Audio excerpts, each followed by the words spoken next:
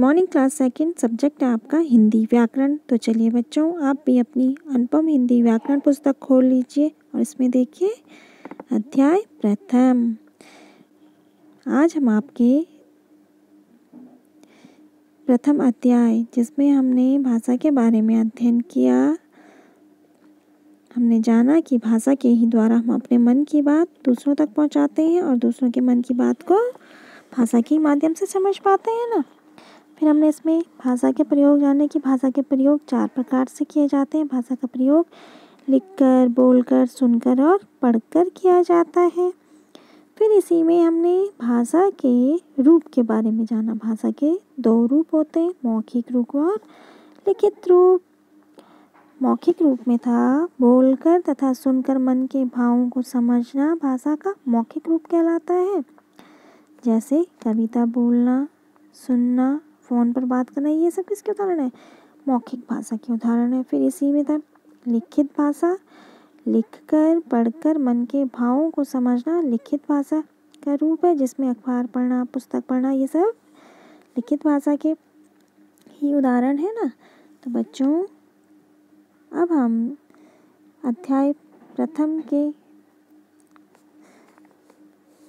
कुछ छोटे छोटे प्रश्नों के माध्यम से अध्ययन करेंगे। यहाँ पर आपको मैंने रिक्त स्थान दिया गया है, खाली स्थान जिसे मैंने भरा हुआ है, उत्तर दे रखे हैं। आपको इन्हें इसी तरह कॉपी में लिखना है ताकि आपका रिवीजन होता रहे।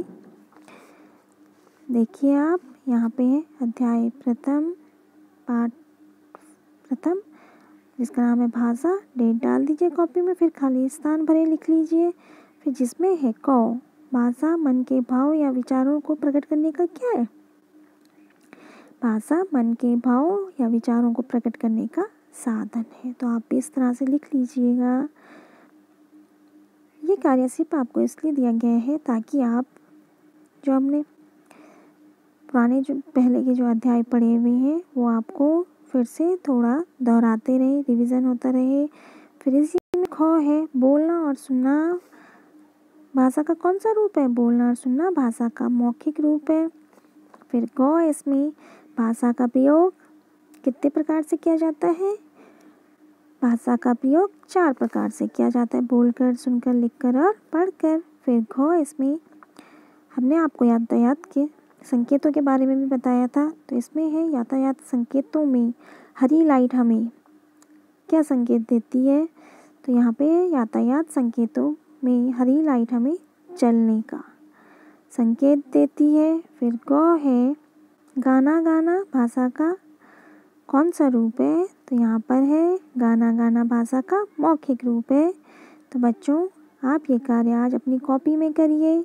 फिर से भाषा के बारे में इन छोटे छोटे प्रश्नों के माध्यम से एक बार दोबारा से अध्ययन कीजिए। तो चलिए बच्चों, आज आप यह कार्य अपनी हिंदी की कॉपी में कर लीजिए। ओके बच्चों थैंक यू